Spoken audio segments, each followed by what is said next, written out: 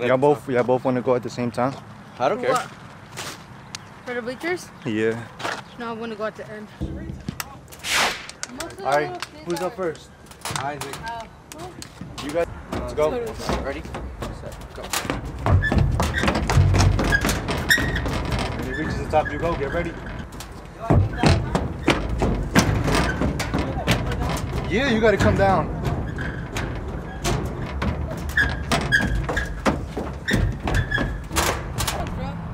Jumped. I didn't even jump from that high. I jumped from the last step. I didn't even jump from that high. Yeah. That cost him a second. 15, 17, 18, What was it? 20. Dang, bro, I had a feeling it was I beat him by one 19. second. Yeah. I had a feeling. Not too shabby, boys. Not too shabby. You guys are doing really good. You guys are really starting to shape up into men now. Had a good workout? No. Feeling good? No.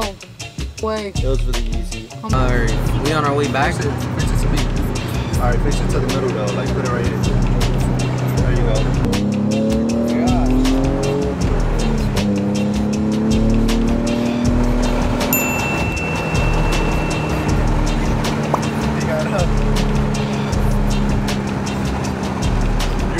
Back there. I'm making sure you're still alive. All right, We crashed, we crashed, we crashed. No. there goes five dollars of gas right there. Five bucks.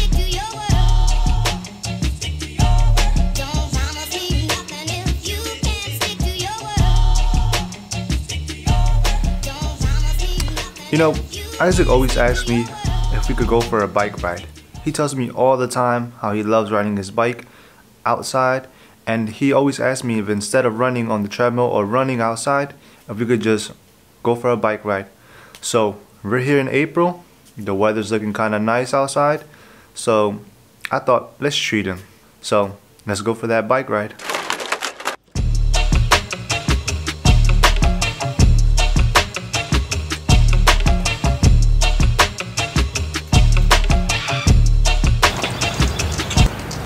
You have a flat tire, you need the pump.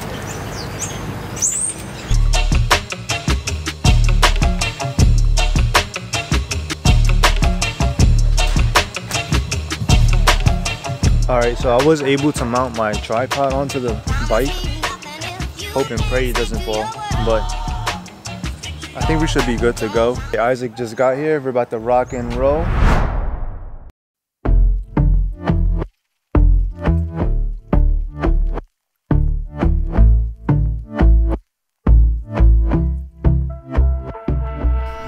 Idea for this workout was to do something like a spin class, except instead of riding on a stationary bike, we would be outside with a nice fresh air.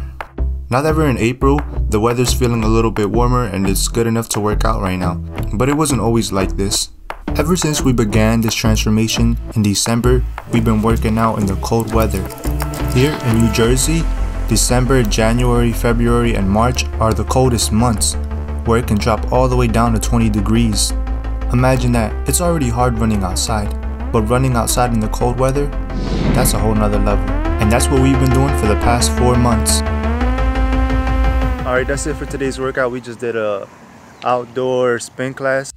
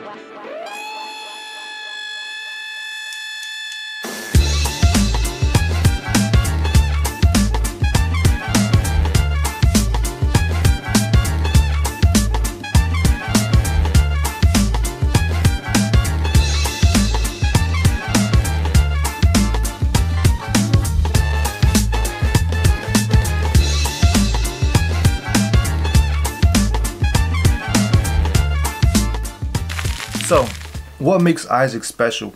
There's no way a 13 year old can transform his life so fast and get these results. What's the secret? Well, I'm gonna tell you guys right now, there's no secret. What most people don't understand is this didn't happen overnight. We started this in December. Seven months later, 200 and something amount of days later, Isaac got to be into the position that he is right now. And he had to work his butt off for that. It's like you're making a really good soup.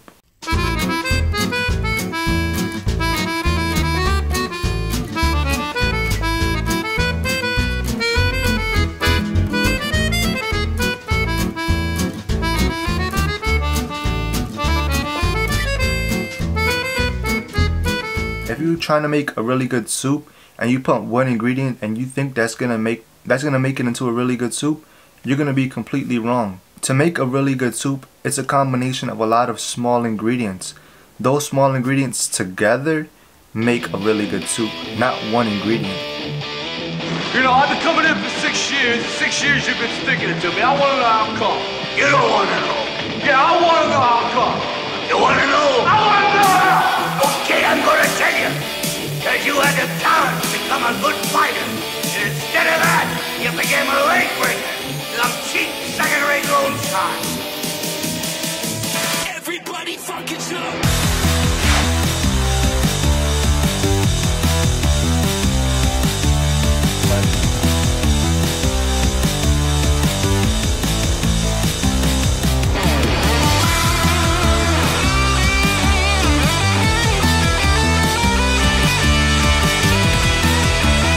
Pretty sorry if I not know had my shake.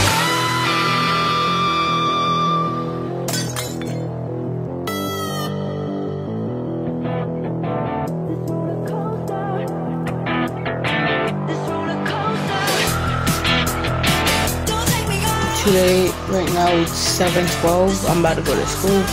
I made my shake for the morning, which is my breakfast. I won't be eating it until 1.30, so I'll see you then.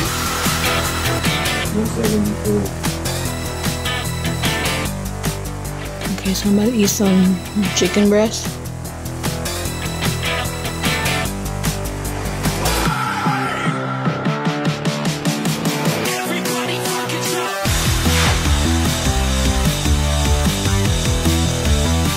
Good morning, it's 7.13 and I'm about to drink my shake.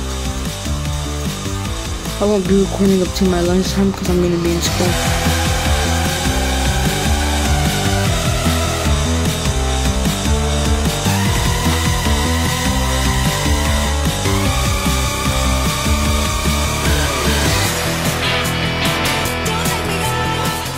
Okay, so I came a little bit later than I thought for school. So right now it's 1.36 and I'm about to eat my food.